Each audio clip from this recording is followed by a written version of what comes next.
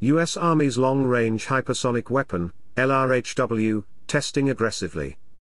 U.S. hypersonic weapons programs, the Army's Long Range Hypersonic Weapon, LRHW, for instance, is on track to be operational as soon as next year. The prototypes exist and have been in development for many years. In anticipation of entering the weapon into operational service, the Army is planning an aggressive testing schedule. We're at the point now where this is kind of the year of testing. So there's a series of test events coming up that are going to tell us exactly where we are, in terms of hitting the 2023 goal, to make sure we get the first actual weapon capability fielded in a real Army unit, Assistant Secretary of the Army, Acquisition, Logistics, and Technology, Mr. Douglas Bush said.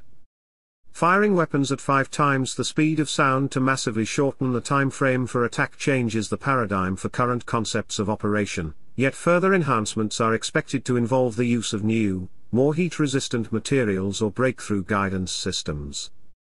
Some of these questions are now being explored through cutting-edge basic research efforts at the Army Research Laboratory, where teams of engineers and scientists are experimenting with mixtures of ceramic, metal, polymer or composite materials at the microscopic level to uncover better performing materials with which to engineer the weapons of the future. Specific materials built into weapons systems bring distinct properties such as being lighter weight, more resistant to penetration or perhaps better equipped to maneuver and manage accurate flight but previously unimaginable, and impossible temperatures. Bush said, What might some of these innovations be? Naturally some of the specifics related to future weapons capability are not likely to be available for security reasons, yet senior weapons developers have discussed some long-range plans for hypersonics. We have plans to roll in additional technologies once we get the first baseline capability fielded. I think the Army is committed to doing that. Because it is moving very quickly.